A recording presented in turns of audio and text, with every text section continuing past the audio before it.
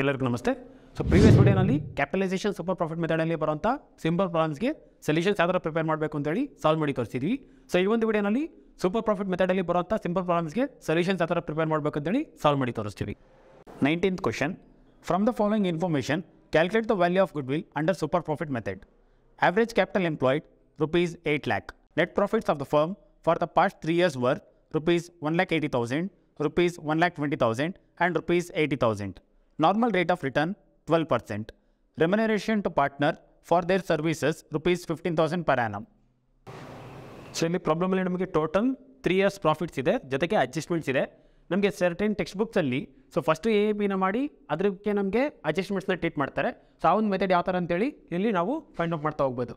So ಇಲ್ಲಿ step one calculation of A P ಅಂತೇಳಿ mention ಮಾಡಿದ್ದೀವಿ ಸೊ ಎ ಪಿ ಫಾರ್ಮುಲಾ ಬಂದು A P is equal to total profits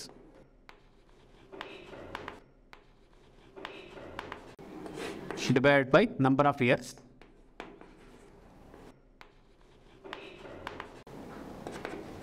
so ಇಲ್ಲಿ ಪ್ರಾಬ್ಲಮಲ್ಲಿ total three years profit ಇದೆ. First year profit ಬಂದು one lakh eighty thousand plus second year profit ಬಂದು one lakh twenty thousand plus last year profit ಬಂದು eighty thousand whole divide by number of years ಬಂದು three so ಇದಿಷ್ಟು ಪ್ರಾಫಿಟ್ಸ್ನ add ಮಾಡಿದಾಗ ನಮಗೆ value ಬಂದು three lakh eighty thousand ಆಗುತ್ತೆ. So divide by three so divide ಮಾಡಿದಾಗ ನಮಗೆ one lakh twenty six thousand six six six ಬರುತ್ತೆ. ಸೊ ರೌಂಡ್ ಫಿಗರ್ ಮಾಡಿದಾಗ ಸಿಕ್ಸ್ ಸಿಕ್ಸ್ ಸೆವೆನ್ ಆಗುತ್ತೆ. ಸೊ ಇಲ್ಲಿ one lakh twenty six six six seven ಬಂದು ನಮಗೆ average value ಆಗುತ್ತೆ.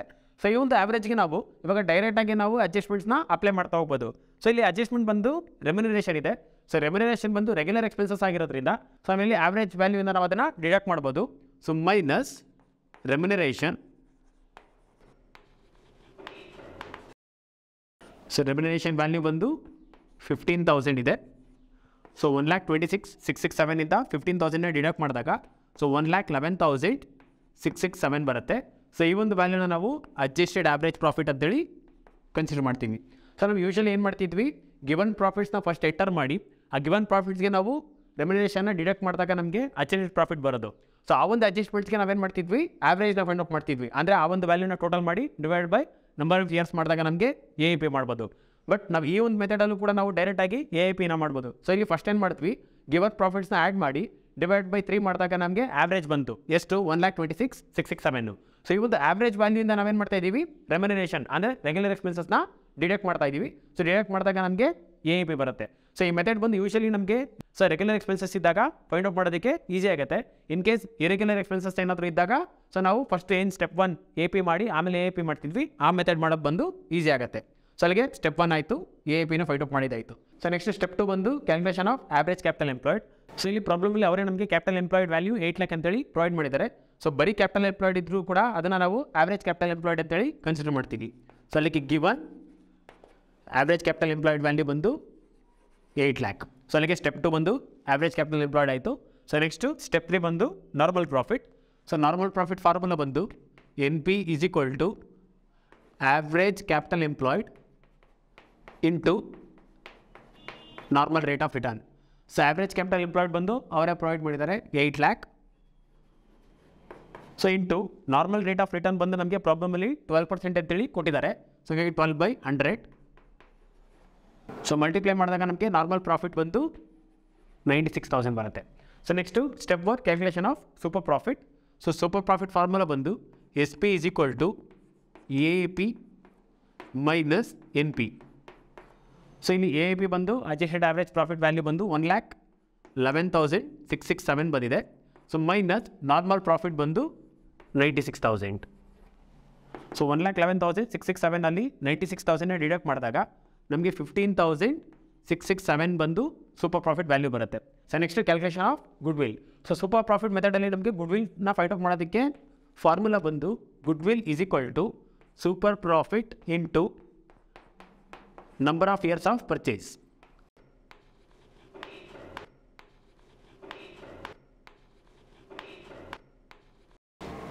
so ಇಲ್ಲಿ ಸೂಪರ್ ಪ್ರಾಫಿಟ್ ಬಂದು fifteen thousand six six seven ಇದೆ.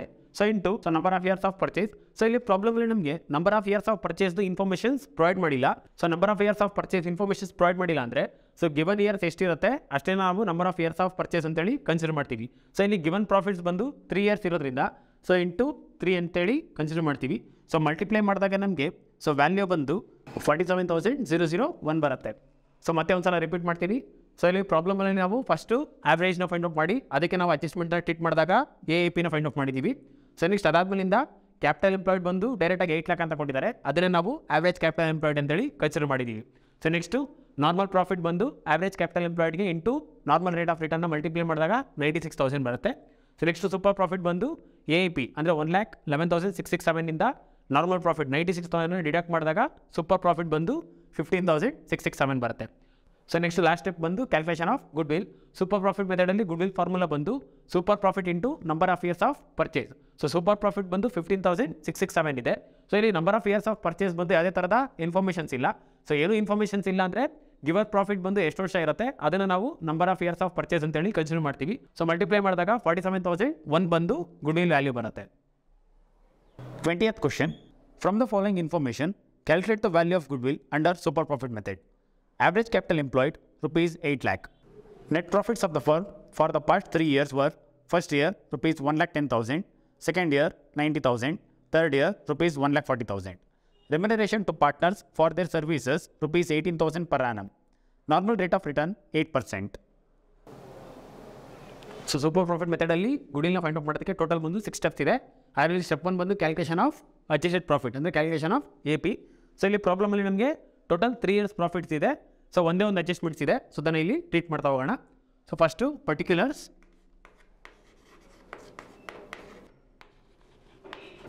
so three years profit ಆದ್ರಿಂದ ಸೊ ಒನ್ ಟೂ ತ್ರೀ ಆಗುತ್ತೆ.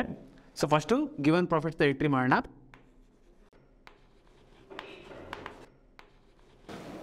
ಸೊ ಫಸ್ಟ್ ಇಯರ್ ಪ್ರಾಫಿಟ್ ಬಂದು one lakh ten thousand second year profit ಬಂದು ninety thousand last year profit ಬಂದು one lakh forty thousand ಇದೆ.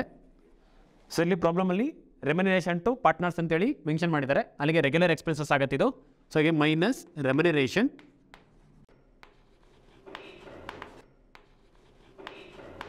So value ಬಂದು eighteen thousand ಇದೆ. So each ಇಯರ್ಗೆ eighteen ತೌಸಂಡ್ನ ಮೆನ್ಷನ್ ಮಾಡ್ತೀವಿ.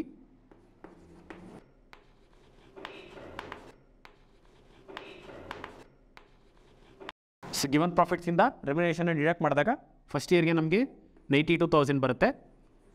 ಸೆಕೆಂಡ್ ಇಯರ್ಗೆ ಸೆವೆಂಟಿ ಟು ತೌಸಂಡ್ ಬರುತ್ತೆ.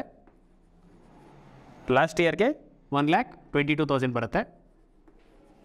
ಸೊ ಈ ಒಂದು ವ್ಯಾಲ್ಯೂಸ್ನ ನಾವು ಅಚೆಸ್ಟೆಡ್ ಪ್ರಾಫಿಟ್ಸ್ ಅಂತೇಳಿ ಮೆನ್ಷನ್ ಮಾಡ್ತೀವಿ.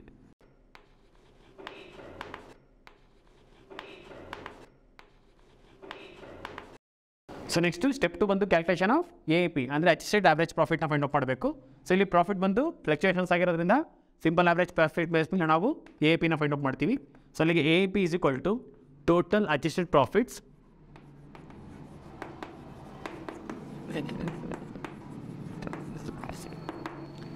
divide by number of years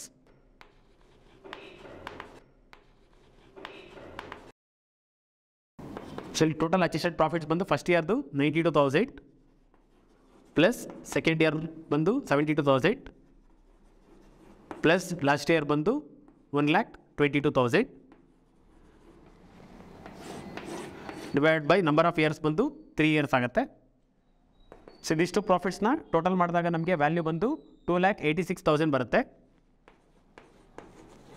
So divide by three so divide ಮಾಡಿದಾಗ ನಮಗೆ ವ್ಯಾಲ್ಯೂ ಬಂದು ninety five thousand three thirty three ಬರುತ್ತೆ. ಸೊ ಈ ಒಂದು ವ್ಯಾಲ್ಯೂನ ನಾವು ಎ ಪಿ ಅಂತೇಳಿ ಕನ್ಸಿಡರ್ ಮಾಡ್ತೀವಿ. ಸೊ ನೆಕ್ಸ್ಟ್ ಸ್ಟೆಪ್ ತ್ರೀ ಬಂದು calculation of average capital employed so ಇಲ್ಲಿ ಪ್ರಾಬ್ಲಮಲ್ಲಿ ಕ್ಯಾಪಿಟಲ್ ಎಂಪ್ಲಾಯ್ಡ್ ವ್ಯಾಲ್ಯೂ ಬಂದು ಅವರೇ ಏಯ್ಟ್ ಲ್ಯಾಕ್ ಅಂತೇಳಿ ಮೆನ್ಷನ್ ಮಾಡಿದ್ದಾರೆ. ಸೊ ಅಲ್ಲಿಗೆ given average capital employed value ಬಂದು eight lakh so next step four ಬಂದು calculation of normal profit so N P is equal to average capital employed capital employed or or average capital employed ಬಂದು eight lakh so into normal rate of return ಬಂದು eight percent ಇದೆ. So ಇಲ್ಲಿಗೆ eight by hundred so multiply ಮಾಡಿದಾಗ ನಮಗೆ normal profit value ಬಂದು sixty four thousand ಬರುತ್ತೆ.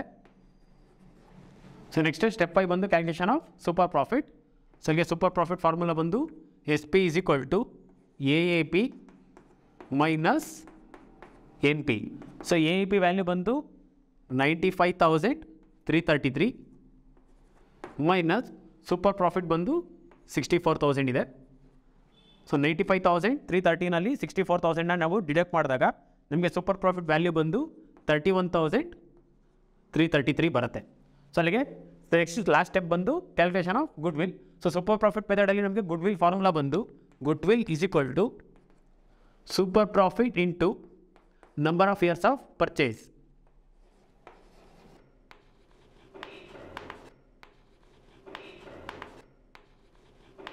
so ನಮಗೆ super profit ಬಂದು thirty one thousand three thirty three ಇದೆ so into number of years of purchase ಬಂದು ನಮಗೆ ಪ್ರಾಬ್ಲಮಲ್ಲಿ ತ್ರೀ ಇಯರ್ಸ್ ಅಂತೇಳಿ ಮೆನ್ಷನ್ ಮಾಡಿದ್ದಾರೆ.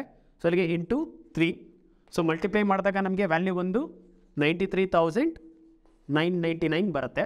ಸೊ ಈ ಒಂದು ವ್ಯಾಲ್ಯೂನ ನಾವು ಗುಡ್ ವ್ಯಾಲ್ಯೂ ಅಂತೇಳಿ ಕನ್ಸಿಡರ್ ಮಾಡ್ತೀವಿ. ಸೊ ಮತ್ತೆ ಒಂದು ಸಲ ರಿಪೀಟ್ ಮಾಡ್ತೀನಿ ಸೊ ಪ್ರಾಬ್ಲಮಲ್ಲಿ ತ್ರೀ ಇಯರ್ಸ್ ಪ್ರಾಫಿಟ್ಸ್ ಇದೆ. ಸೊ ಅದಕ್ಕೆ ರೆಮ್ಯುನೇಷನ್ ಬಂದು ಒಂದೇ ಅಡ್ಜಸ್ಟ್ಮೆಂಟ್ ಇರೋದು. ಸೊ ರೆಮ್ಯುನೇಷನ್ ಬಂದು ರೆಗ್ಯುಲರ್ ಎಕ್ಸ್ಪೆನ್ಸಸ್ ಆಗಿರೋದ್ರಿಂದ ಗಿವನ್ ಪ್ರಾಫಿಟ್ಸಿಂದ ಡಿಡಕ್ಟ್ ಮಾಡಿದಾಗ ನಮಗೆ ಅಡ್ಜಸ್ಟೆಡ್ ಪ್ರಾಫಿಟ್ ಬರುತ್ತೆ. ಸೊ ನೆಕ್ಸ್ಟು ಸ್ಟೆಪ್ ಟು ಬಂದು calculation of A A P so ಇಲ್ಲಿ ಪ್ರಾಫಿಟ್ ಬಂದು ಫ್ಲಕ್ಚುಯೇಷನ್ಸ್ ಆಗಿರೋದ್ರಿಂದ ಸಿಂಪಲ್ ಆವರೇಜ್ ಪ್ರಾಫಿಟ್ ಬೇಸ್ ಮೇಲೆ ನಾವು ಎ ಪಿನ ಫೈಂಡ್ ಔಟ್ ಮಾಡಿದ್ದೀವಿ. ನೆಕ್ಸ್ಟು ಸ್ಟೆಪ್ ತ್ರೀ ಬಂದು calculation of average capital employed so capital employed ಬಂದು ಪ್ರಾಬ್ಲಮಲ್ಲಿ ಏಟ್ ಲ್ಯಾಕ್ ಅಂತೇಳಿ ಮೆನ್ಷನ್ ಮಾಡಿದ್ದಾರೆ. ಹಾಗಾಗಿ ಫೈಂಡ್ ಔಟ್ ಮಾಡೋ ನೆಸೆಸರಿ ಇಲ್ಲ ಅದನ್ನೇ ನಾವು ಆವ್ರೇಜ್ ಕ್ಯಾಪಿಟಲ್ ಎಂಪ್ಲಾಯ್ಡ್ ಅಂತೇಳಿ ಕನ್ಸಿಡರ್ ಮಾಡ್ತೀವಿ. ಸೊ ನೆಕ್ಸ್ಟು ಸ್ಟೆಪ್ ಫೋರ್ ಬಂದು normal profit so average capital employed into normal rate of ರಿಟರ್ನ್ನ multiply ಮಾಡಿದಾಗ ನಮಗೆ ಸಿಕ್ಸ್ಟಿ ಫೋರ್ ತೌಸಂಡ್ ಬಂದು ನಾರ್ಮಲ್ ಪ್ರಾಫಿಟ್ ಬರುತ್ತೆ. So next calculation of super profit so A P minus N P ಮಾಡಿದಾಗ ನಮಗೆ thirty one thousand three thirty three ಬಂದು super profit ಬರುತ್ತೆ. So next super profit ಮೆಥಡಲ್ಲಿ good will formula ಬಂದು super profit into number of years of purchase ಮಾಡ್ತೀವಿ. So ಇಲ್ಲಿ super profit ಬಂದು thirty one thousand three thirty three into number of years of purchase ಬಂದು three years ಅಂತೇಳಿ mention ಮಾಡಿದ್ದಾರೆ. So multiply ಮಾಡಿದಾಗ ನಮಗೆ ninety three thousand nine ninety nine ಬಂದು good value ಬರುತ್ತೆ. ಈ ಒಂದು ವಿಡಿಯೋನಲ್ಲಿ ಸೂಪರ್ ಪ್ರಾಫಿಟ್ ಮೆಥಡಲ್ಲಿ ಬರುವಂಥ ಸಿಂಪಲ್ ಪ್ರಾಬ್ಲಮ್ಸ್ಗೆ ಸೊಲ್ಯೂಷನ್ಸ್ ಯಾವ ಥರ ಪ್ರಿಪೇರ್ ಮಾಡಬೇಕು ಅಂತೇಳಿ ಸಾಲ್ವ್ ಮಾಡಿ ತೋರಿಸಿದ್ದೀವಿ ಇನ್ ಕೇಸ್ ಈ ಪ್ರಾಬ್ಲಮ್ಸ್ ರಿಲೇಟೆಡ್ ಏನಾದರೂ ಡೌಟ್ ಸಜೆಷನ್ಸ್ ಏನಾದರೂ ಇದ್ದರೆ ಕಮೆಂಟ್ ಬಾಕ್ಸ್ನಲ್ಲಿ ಕಮೆಂಟ್ ಮಾಡಿ.